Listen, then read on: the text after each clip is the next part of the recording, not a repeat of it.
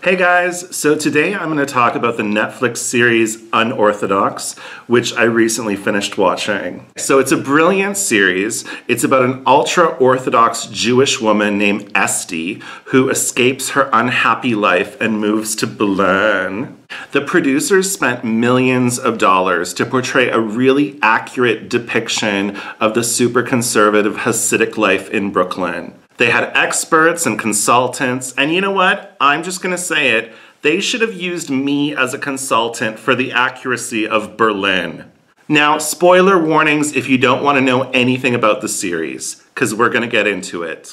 First of all, when she arrives to Berlin, the first guy she meets is like this super hot German guy who plays in a symphony. So he introduces her to all of his friends, and all of his friends are also these like gorgeous, young, racially diverse people who play in this symphony and they're all like ridiculously hot. And I'm not saying that classical musicians can't be very attractive, but like they might have wanted to use a couple character actors.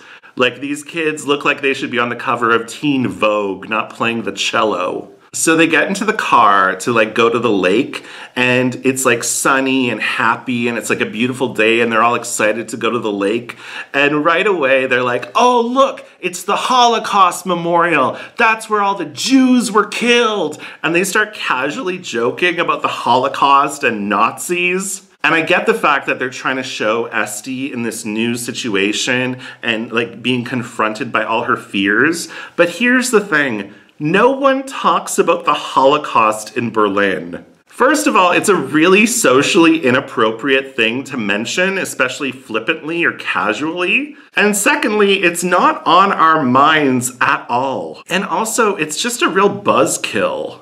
I don't even know Israeli people who would bring up the Holocaust in polite conversation. Usually the Israelis here are just like sexy DJs and hot gay guys and social activists and they just eat hummus and make challah bread and they're like so hot and cool and sexy. Like sometimes Israeli comedians come here and they do their whole set about the Holocaust and no one is laughing. Like it's not fun for anyone. We're like, yeah, we get it.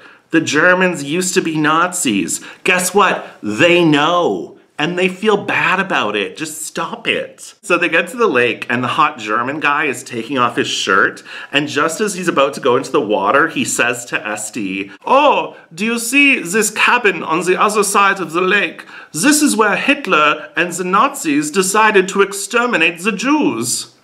Now, keep in mind at this point, he knows that she's Jewish.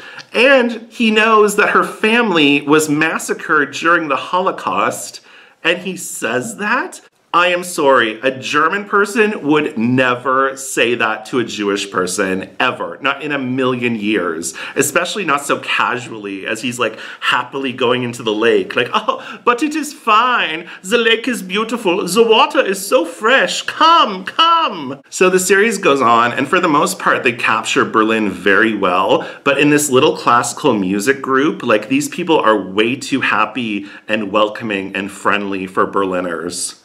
None of them are alcoholics. None of them have a drug problem. None of them have a sex addiction. By episode three, I was like, okay, is someone gonna ask Esti if she wants to go to the Kit Kat Club? Like, shouldn't you be peer pressuring her into a gangbang by now?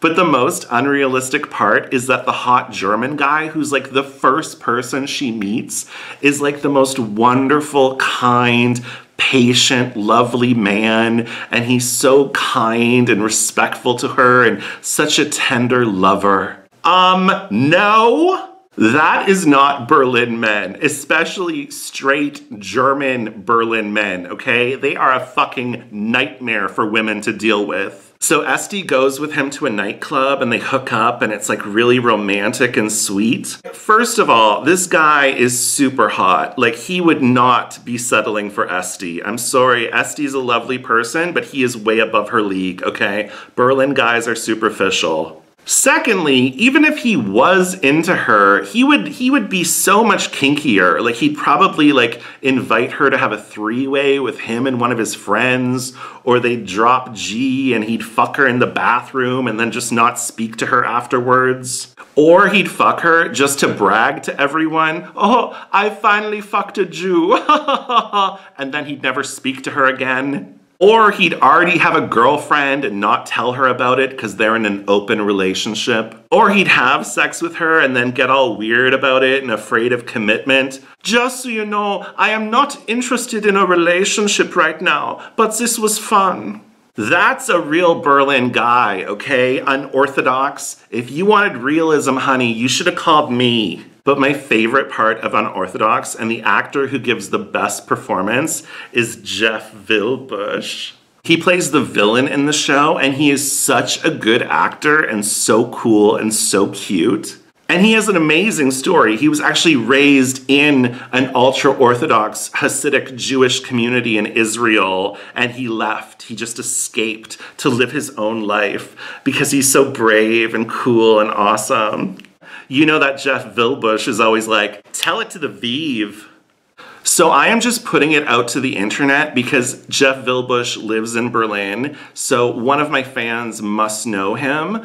I'm telling you, I want to be friends with Jeff Wilbusch. I think we'd really get along and he would love my comedy. I'd be all like, oh Jeff, you're so great. And he'd be all like, oh Daniel, you're great too and we'd have long talks about culture and acting and comedy and travel. So if anyone knows Jeff Wilbusch, just someone please send him my comedy, see if he thinks I'm funny, see if he thinks I'm cool enough. Like maybe he wants to be my friend, who knows, maybe he already knows my comedy, okay? I'm a little famous, I'm kind of famous. Maybe this is gonna be his chance to be like, whoa, Dan Ryan Spaulding thinks I'm cool. He's like my hero. I've always wanted to meet him. That's right, Jeff. Yeah, you should be so lucky. Who do you think you are? Classic Jeff Wilbusch.